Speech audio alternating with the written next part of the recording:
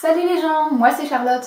Je pense que vous savez tous qu'on peut oublier une langue étrangère, j'ai pas besoin de vous le démontrer. De toute façon, il suffit de demander à un adulte de tenir une conversation en allemand ou en espagnol et vous vous en rendrez compte assez vite. Mais notre langue maternelle, c'est un peu comme le vélo, on peut pas vraiment l'oublier. Si C'est marrant parce que sur internet, on trouve à peu près autant de réponses positives que négatives à cette question. Mais du coup, qui a raison?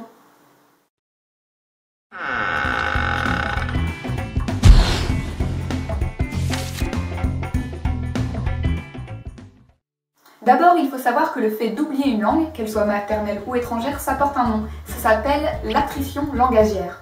Ici, on va s'intéresser à l'attrition chez des sujets sains, donc je vais pas vous parler des gens qui oublient une langue à cause d'une pathologie. Et comme le but n'est pas non plus de faire une vidéo de 3 heures, je vais devoir faire quelques résumés et raccourcis. L'attrition de la langue maternelle, qu'on appelle aussi la langue première, nécessite deux facteurs. Tout d'abord qu'on ait une exposition limitée à notre langue première, et en même temps l'utilisation fréquente d'une langue seconde. Donc même si je sors pas de ma chambre pendant 3 semaines, je peux pas oublier le français Non, pas vraiment, désolé.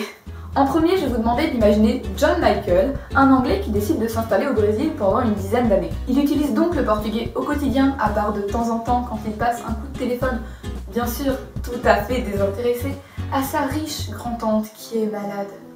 Est-ce qu'il serait possible que John Michael finisse par oublier son anglais? Eh bien oui. Et en même temps, non.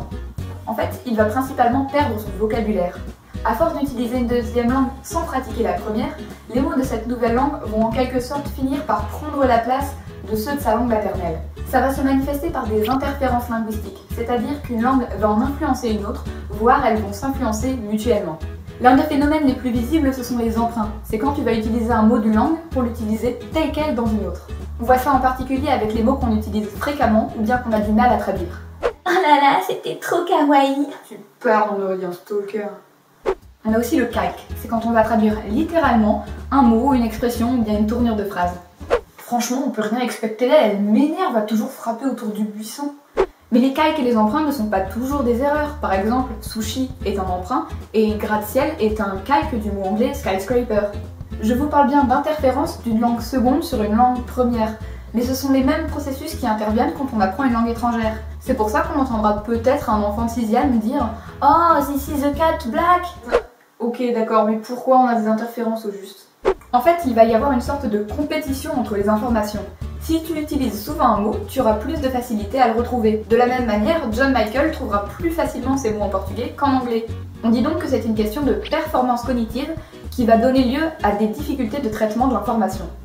Il arrive aussi parfois que certains sujets aient une diminution de la phonologie, c'est-à-dire qu'ils auront plus de mal à produire les sons de leur langue maternelle, ce qui va les conduire à avoir cette espèce d'accent étranger. Malheureusement, je peux pas vraiment vous en dire plus parce qu'il y a vraiment peu d'études faites sur le sujet. En revanche, tout ce qui concerne la structure de la langue, c'est-à-dire l'ordre des mots, la façon dont ils sont construits, les suffixes, la conjugaison, etc., tout cela reste bien ancré dans le cerveau. Ok, donc en gros, il oublie son lexique, mais euh, s'il est réexposé à l'anglais, euh, il se passe quoi? S'il retourne en Angleterre, John Michael retrouvera son anglais en quelques semaines. S'il avait réellement oublié sa langue maternelle, il lui faudrait plusieurs années pour retrouver son niveau. C'est pour ça qu'on dit qu'il y a une détérioration des connaissances de la langue sans véritable perte. L'attrition chez l'adulte se caractérise donc par une difficulté à gérer deux systèmes linguistiques différents, mais elle est réversible dans des circonstances favorables. Ouais mais depuis tout à l'heure on parle d'un adulte, il se serait passé quoi si ça avait été un gamin? Alors chez les enfants, par contre, c'est un peu moins clair. Il me semble qu'il n'y a pas encore de consensus scientifique sur la question, mais la plupart des études convergent. On sait que l'attrition se fait beaucoup plus rapidement, en seulement quelques mois, et de façon beaucoup plus profonde et importante, jusqu'à parfois avoir une incapacité totale à parler et comprendre leur langue première. Attends, attends, d'abord on a fait comment pour savoir ça? En fait, on a juste fait des tests sur des enfants immigrés et notamment des enfants adoptés qui du coup n'avaient plus du tout de contact avec leur langue première. Attends, des tests sur des gamins? Quel genre de tests? Oh, t'inquiète pas, rien de très traumatisant. On a par exemple compté le nombre de mots auxquels ils réagissaient, on leur demandait de nommer des images, des objets, on vérifiait s'ils reconnaissaient et s'ils arrivaient à produire les sons de leur langue. On pense que cette attrition très forte de la langue maternelle est due avant tout à une adaptation au nouvel environnement. Tout comme pour les adultes, on pense qu'il y a la question des ressources cognitives. Le fait d'apprendre, d'utiliser, de mémoriser la langue maternelle demande beaucoup de capacités cérébrales et du coup, à partir d'un certain âge, il est un peu plus difficile d'apprendre une langue étrangère. Cependant, si cette exposition à la langue maternelle diminue, il y a plus de ressources qui sont libérées pour pouvoir apprendre une deuxième langue. Et donc, si les enfants sont totalement coupés de leur langue première, le cerveau va se focaliser sur cette langue seconde, et les connaissances sur la langue première seront en quelque sorte endormies. À cela s'ajoute la question de la plasticité cérébrale, c'est-à-dire la capacité de notre cerveau à s'adapter, à évoluer, à apprendre de nouvelles choses. C'est cette plasticité qui faciliterait l'apprentissage de la langue maternelle chez les enfants, mais en même temps ce serait elle qui serait responsable de l'attrition.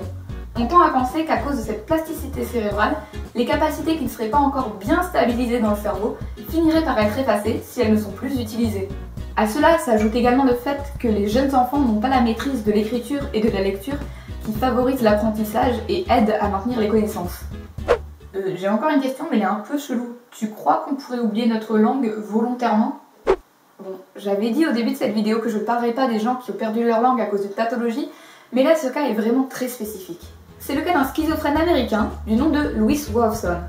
Sa maladie a été diagnostiquée très tôt et sa mère lui a fait subir des traitements violents tels que des électrochocs, ce qui l'a amené à développer une haine profonde contre sa mère, mais également contre la langue qu'elle parlait, qui était sa propre langue maternelle, l'anglais. De ce fait, il ne supportait plus d'entendre parler cette langue et a décidé de mettre au point un système qui lui était très personnel. Il s'est mis à apprendre d'autres langues, à écouter la radio étrangère, pour mettre au point un système de conversion de l'anglais vers d'autres langues. Euh... Mais ouais, il faisait ça comment? Dès qu'il entendait un mot en anglais, il essayait de l'associer à un mot avec une prononciation et une signification à peu près similaires dans une autre langue. Par exemple, il expliquait que quand sa mère lui disait de faire attention de ne pas se prendre les pieds dans un fil, elle lui disait, en anglais, Do not trip over the wire. Et que par exemple, les mots do not devenaient do nicht en allemand. Que trip devenait treb de trébucher en français, que over devenait Uber en allemand, etc., etc. Et en fait, il nous raconte tout ça dans une sorte d'autobiographie intitulée Le schizo et les langues. Cependant, on ne peut pas dire qu'il ait réellement réussi à oublier sa langue maternelle. Il a surtout mis au point un système pour convertir l'anglais en un mélange d'autres langues.